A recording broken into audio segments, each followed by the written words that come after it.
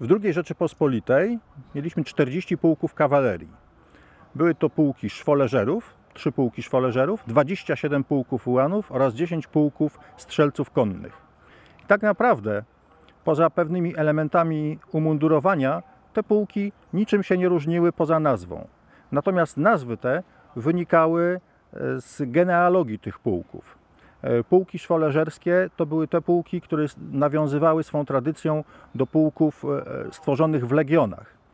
Pułki ułanów tworzone były zarówno w korpusach wschodnich e, w czasie I wojny światowej, jak również w pierwszych miesiącach odzyskania niepodległości w 1918 i na początku 1919 roku.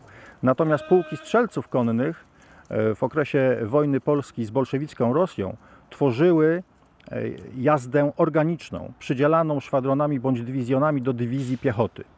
Później zmieniono im nazwę i stały się pułkami strzelców konnych. Druga Rzeczypospolita była dosyć ubogim państwem.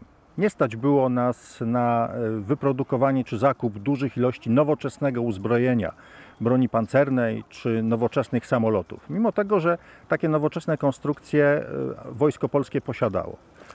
Armia polska posiadała natomiast bardzo dużą ilość kawalerii i to było związane przede wszystkim z tym, że przez większość e, okresu 20 lat niepodległości głównym przeciwnikiem Rzeczypospolitej Polskiej był Związek Sowiecki, który również posiadał duże ilości kawalerii. A jak wykazała wojna z bolszewicką Rosją w latach 1919-1920, najlepszym antidotum na kawalerię jest posiadanie własnej kawalerii.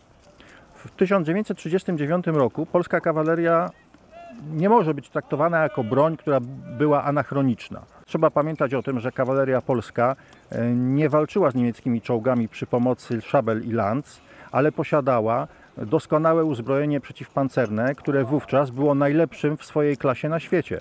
To były znakomite działka przeciwpancerne e, produkowane w Polsce na licencji Boforsa oraz coś, co było zaskoczeniem dla Niemców e, polskiej konstrukcji karabin przeciwpancerny wzór 35, który był tajemnicą wojskową i stanowił bardzo duże zaskoczenie dla Niemców.